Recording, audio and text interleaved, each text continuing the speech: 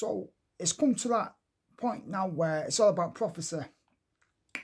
And, you know, I was watching a rabbi, you know, it's very deep and, you know, speaks very, um, you know, much on Torah, punishments of Hashem, of God, and what we should be doing, and, you know, makes sense in a lot of things. But I was watching last night, I think I should be more like him, you know, and let myself go. I'm not keeping things as real as it should be. I'm not, not being as holy. You know, and I've had a dream from God and like, you know, God showed me a sign. But then when I was watching him speaking, as holy as he goes on and, you know, about prophecies and we should fulfill this and this is going to happen, he started changing the tone. Like, oh, the vaccine, you know, it's, it's made by the best, you know, Greek Jew and Israel government have got it and uh, he advises everyone to take it, his family and his friends and he's an Israeli, he lives in New York. I just gone, whoa.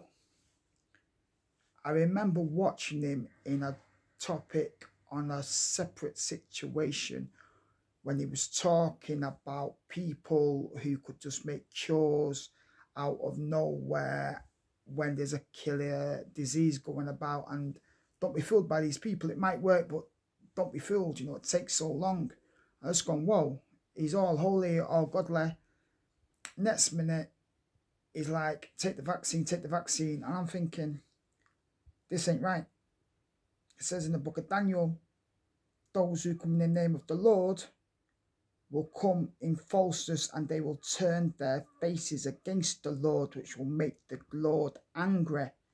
And then I was thinking, I'm looking at the picture of the rabbi. I'm looking at the picture of the rabbi. There's the rabbi. And the temple of Jerusalem with the star there at the top.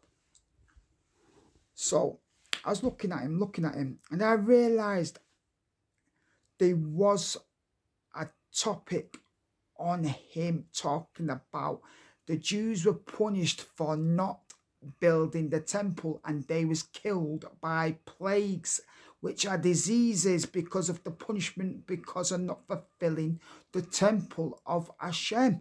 And then I realized then if this holy man was speaking the truth, he would be saying, Build the temple, build the temple. This is the time, build the temple. The only way we can stop the the disease is to build a temple. We can bring ourselves out of exile. This is the time, this is the time, this is the time.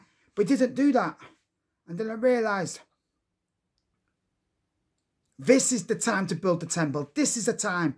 You know, we've got a time to stop what is happening because this is a killer virus. And the way the Jews can build the temple is to stop this virus and that would make things from the exile and everything bad in the world stop.